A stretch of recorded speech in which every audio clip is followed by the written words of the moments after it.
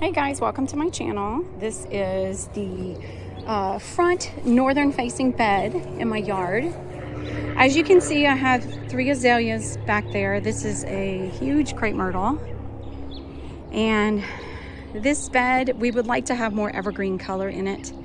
Um, we have double play doozies and some privets back here and they all lose their leaves over the winter. So this bed looked pretty bare. Um, these are Radiance Abelias. We used to have Indian hawthorns in this spot, um, but they died in an ice storm several years ago. So I'm also going to be potting up um, Proven Winners Gomphrena. These beautiful guys lived and hardied over the winter.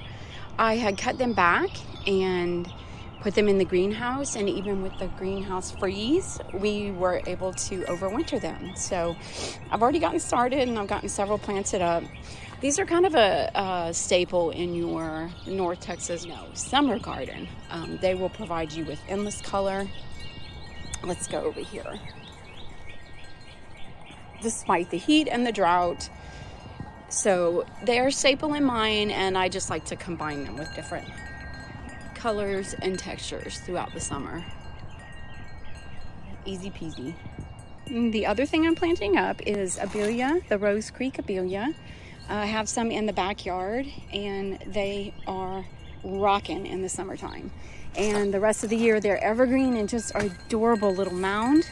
Well, I say little, but just a nice round shape that I love. And the foliage is just real pretty and it's a nice shade of green so they take sun to part sun. The ones in the back get part sun and they flowered beautifully last summer. The butterflies and bees love them. So we're going to be amending this soil. It's kind of a necessity here in North Texas just because of our clay soils. So we will um, get started. Thanks for joining us.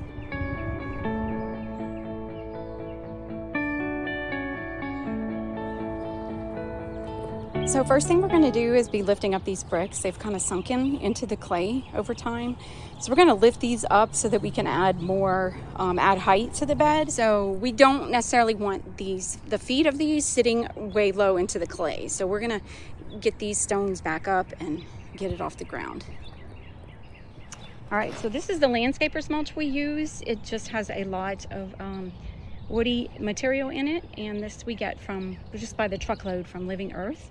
So we're gonna mix this. This is the pea gravel we use. We get it at Lowe's. Any pea gravel will do. It's a lot cheaper. This is also what we stir into our soil.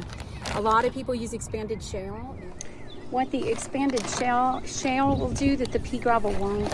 Um, this pea gravel will not improve your soil. It might help um, improve drainage and just give the roots some air help them breathe, but expanded shale will actually go in and improve your soil. It will absorb um, the moisture from the heavy clay soils. So over time, it has shown improvements, whereas this won't. So if you have a nice budget, definitely expanded shale will be um, preferable. But if you have a limited budget and just a lot of beds that you need to amend, this is where the pea gravel comes in, and this is this is why we use it. The Living Earth organic compost. Step by step, we're going to raise them up.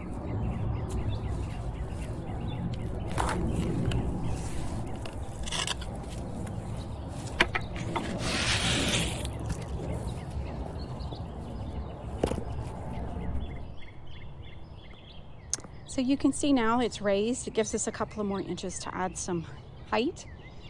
And we're gonna go ahead and get these guys planted up. I should mention the, they had um, meteor shower verbena in here. So my fingers are crossed that it has reseeded and should start popping up soon. This bed faces north. So I would expect them to pop up a little bit later than most other things, but I'm remaining hopeful.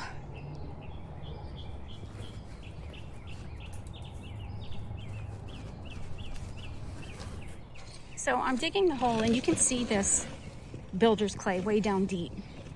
And then keep in mind, that's where the roots are gonna be. So if your plant is sitting in that, you're gonna get root rot. So it's important, that's why they um, always instruct you to dig wide and deep is because we want to amend this. We want to take out this builder's clay. It looks like this. Look at that. However, up here, there's some clay that falls apart. Okay, so you wanna you wanna mix in some good clay so that your plant doesn't just sink into that full builder's clay down below. This is the landscapers mix. I put it in this tub here. I'm gonna add a little bit of compost and a little bit of pea gravel and I just stir it up.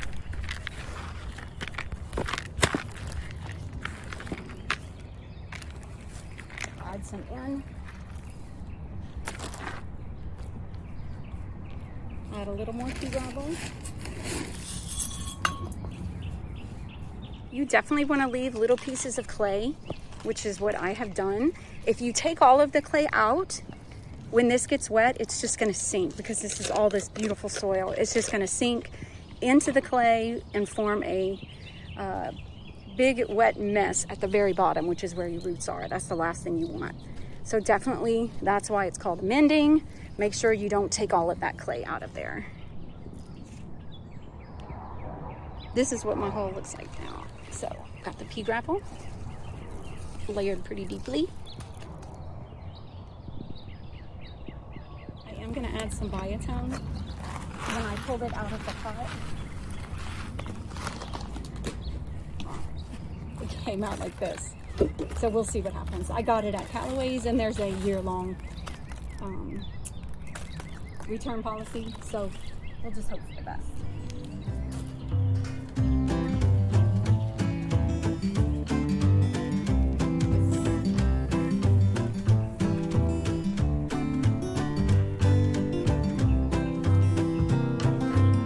Okay, so this one's all planted. We're gonna finish up the rest.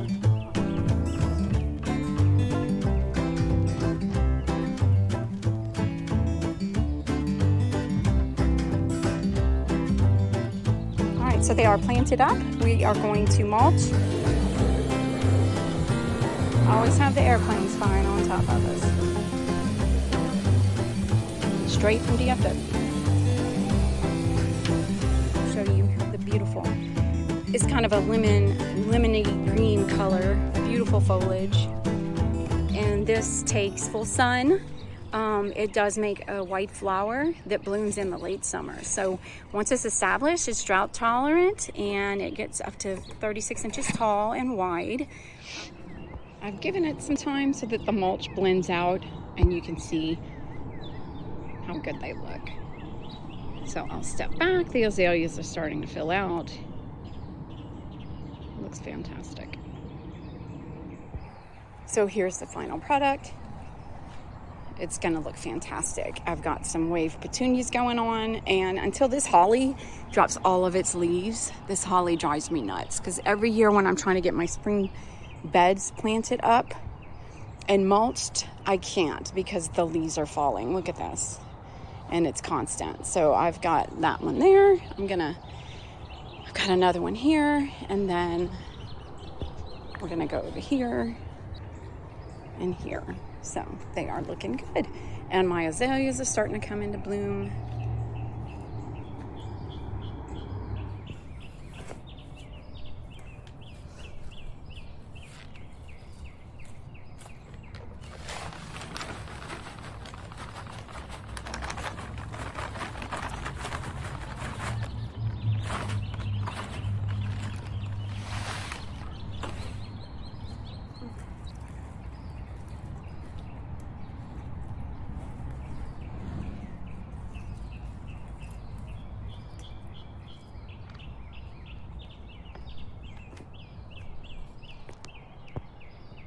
These front beds have been amended already, so I didn't have to add anything today. Um, I did add some flower tone when I planted it just to get it through uh, a long-term fertilizer and I'll probably just add a bloom booster throughout the summer months but um, it looks great and I expect it to kind of spread and fill out this whole area. It does take full sun and it'll flower best for you when it is in full sun. So here's here's the first one again right in front of my azaleas there's a perennial salvia right in front of it that comes back. So that blue is going to be pretty with that pink behind it.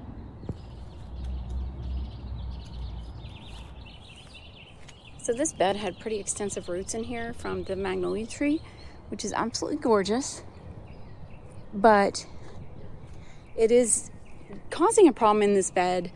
A lot of things are just struggling, so it does need more water than typical. Um, thankfully, gomphrenias don't need a lot of water.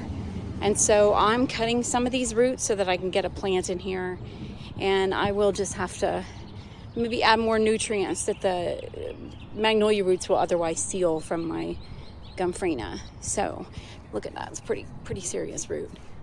So I'm planting it a little far more forward than I had planned, but the other one is right there. So I think I'll be good. But otherwise, these are gonna be chopped away.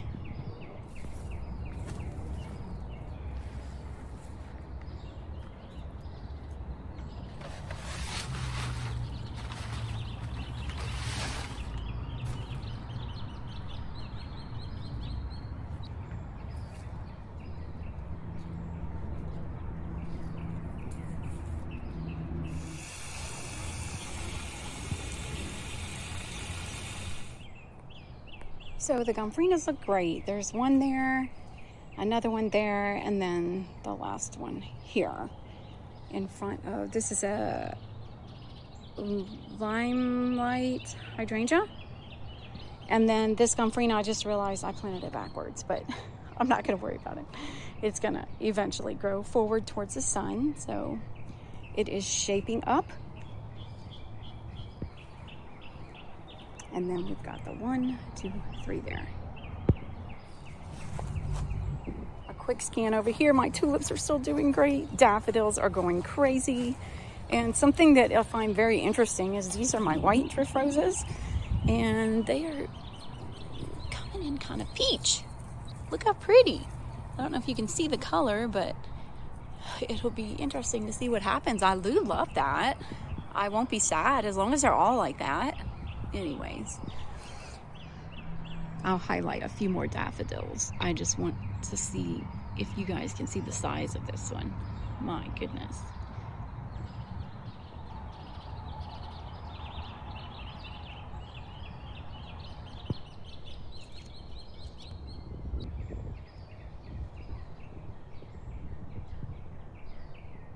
And then look at the tulip, the color, it's almost iridescent the details. It's pretty amazing. Here's one coming in. Look at a little bit like ice cream sherbet too on the yummy side. So pretty. As always, guys, thank you so much for joining us and watching our videos and subscribing to our channel. It really means so much to us. Um, and uh, we will see you in the next one. Thanks again. Have a great day. Bye.